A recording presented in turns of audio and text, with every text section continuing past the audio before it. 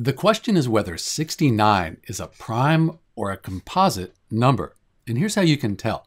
So let's look first to see if 69 is prime. So we ask, is it a positive integer? Yeah, it's a positive integer. It's a whole number here. It's greater than 1. And are there only two factors, 1 and 69, that are divisible into 69? So we know 1 times 69, that equals 69. But are there any other factors? It turns out that 3 times 23, that equals 69.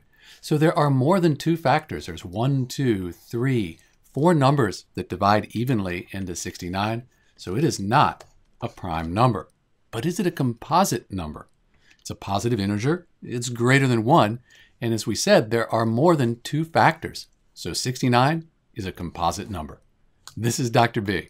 Thanks for watching.